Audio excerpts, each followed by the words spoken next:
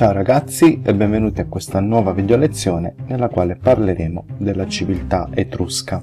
La civiltà etrusca compare intorno all'VIII secolo a.C. nelle regioni centrali dell'Italia. Di fatto non si conoscono le origini di questa civiltà, Molti studiosi ritengono infatti che gli Etruschi siano originari della penisola e che la loro civiltà sia il risultato di una fusione tra popolazioni villanoviane che abbiamo già visto nella video lezione precedente e i popoli provenienti dal vicino Oriente. Dunque non si conoscono le origini e per questo tale popolo risulta essere anche piuttosto affascinante. Gli Etruschi occupano la zona corrispondente alle attuali Toscana, Isola d'Elba e parte settentrionale del Lazio, come possiamo notare da questa cartina. Questa popolazione non dà vita a uno Stato unitario, dunque non abbiamo un unico Stato etrusco, abbiamo quelle che potremmo chiamare delle polis, cioè delle città pienamente autonome. In alcune occasioni le città etrusche si uniscono in confederazioni militari come la Dodecapoli per esempio, che racchiude queste città in elenco. Sono delle alleanze militari, come abbiamo detto, che però non portano le singole città a rinunciare alla loro autonomia e alla loro indipendenza. Diciamo che le dodecapoli somigliano un po' alle anfizionie o alle leghe greche. Come sono organizzate da un punto di vista politico le città etrusche? Le città etrusche sono guidate da un sovrano chiamato Lucumone, che governa con l'aiuto di un consiglio di aristocratici. In questa immagine potete trovare un ritratto di Porsenna, uno dei più importanti e famosi lucumoni della civiltà etrusca, che si trovò a fronteggiare per l'appunto Roma e il suo crescente dominio all'interno della penisola. Viene poi il popolo composto prevalentemente da contadini e commercianti, e infine il ceto servile, costituito da schiavi e contadini semi-liberi. La società etrusca è nota per il diverso ruolo riconosciuto alla donna, che gode di una certa parità rispetto all'uomo, dunque una novità rispetto ai contesti antichi che abbiamo potuto notare. Poteva infatti partecipare a banchetti e spettacoli, possedeva beni e aveva addirittura accesso all'istruzione. Quindi abbiamo una posizione sociale della donna che, sebbene non sia diversa da un punto di vista politico alle altre civiltà, era leggermente diversa rispetto a quella che abbiamo notato nelle società precedenti che abbiamo analizzato. Di fatto la donna non partecipa alla politica, però fondamentalmente ha una condizione sociale leggermente migliore, soprattutto ciò vale per le donne appartenenti a famiglie più ricche, eh, una condizione, dicevo, migliore rispetto a quelle, alle donne delle altre polis o delle altre civiltà. Intorno al VII secolo a.C. i domini etruschi si estendono fino alla Campania, quindi da questa zona, questa zona che trovate qui in arancione, si estendono verso sud fino ad arrivare a, a contatto con i greci, con i quali appunto inizieranno i contrasti legati al predominio dei traffici commerciali.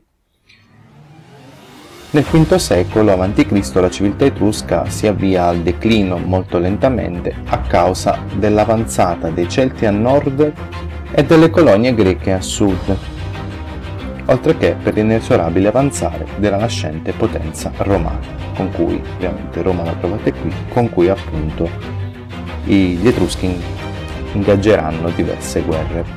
Vediamo da cosa è caratterizzata l'economia etrusca. L'economia etrusca era caratterizzata dalla lavorazione dei metalli, in particolare piombo, ferro e stagno. Vedete qui per esempio anche l'oro sicuramente era un metallo sapientemente lavorato dagli Etruschi. Il commercio di manufatti che si estende per tutto il Mediterraneo e il vicino Oriente. Gli Etruschi stabiliscono infatti una vera e propria talassocrazia, cioè un dominio vero e proprio sui mari, in particolar modo sul Mar Tirreno, ma in generale su tutto il Mediterraneo, anche per quanto riguarda la pirateria assaltano le navi mercantili che passano per il Mediterraneo e si impossessano dei ricchi bottini e dei prigionieri che poi rivendono al mercato degli schiavi. Utilizzano anche la loro sapiente eh, arte della navigazione per riuscire a imporsi anche da un punto di vista commerciale. Non a caso entreranno in conflitto come abbiamo visto con i greci. E infine l'agricoltura, che diventa una base economica piuttosto importante grazie alle innovative opere di bonifica e canalizzazione. Gli Etruschi, oltre ad essere abili navigatori e commercianti, sono anche eccellenti costruttori e architetti. Infatti edificheranno alte mura e strade lastricate, opere fognarie e acquedotti. Organizzano le loro città in modo ordinato e preciso, secondo l'ordinamento del cardo e del decumano. Sono le due strade che tagliano perpendicolarmente la città. Con l'invenzione dell'acqua a volta, che trovate qui, possono costruire edifici più alti e complessi rispetto a quelli che possiamo trovare in altri centri dello stesso periodo e inoltre le loro conoscenze architettoniche furono preziose per la civiltà romana, che seppe sfruttarle e migliorarle nel corso del tempo. Quindi abbiamo un vero e proprio utilizzo da parte dei romani delle conoscenze etrusche, la conquista sarà piuttosto fruttuosa in questo senso. Qui trovate per esempio un'opera artistica, un sarcofago degli sposi, risalente alla fine del VI secolo a.C., rinvenuto a Cerveteri particolar, in particolar modo questo sarcofago lascia intendere come il rapporto tra uomo e donna e in generale la condizione della donna sia una condizione non negativa. La religione etrusca è politeista ed è molto influenzata da quella greca. In questo caso abbiamo proprio una testimonianza di quanto i contatti tra popoli determini una contaminazione anche da un punto di vista religioso. Entrambe le religioni, quella etrusca e quella greca, hanno infatti una forte valenza sociale e pubblica perché si crede che ogni aspetto della vita umana sia regolato dalla volontà degli dei. Grande importanza avevano gli aruspici, ovvero i sacerdoti. Erano in grado di interpretare la volontà divina mediante l'osservazione del volo degli uccelli, dei fenomeni celesti o delle viscere degli animali. Qui abbiamo per esempio il fegato di Piacenza che è un modello in bronzo del fegato di una pecora.